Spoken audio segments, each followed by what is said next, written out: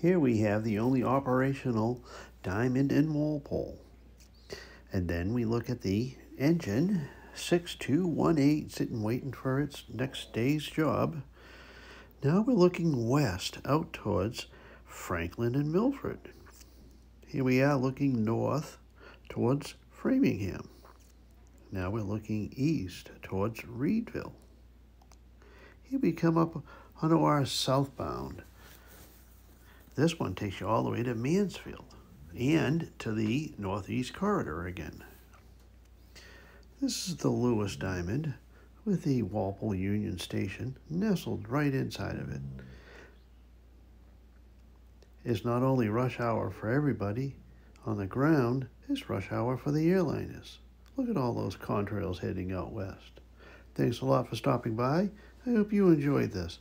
This was a very good day, exhausting day. And just like that, I ran out of memory, so I had to land.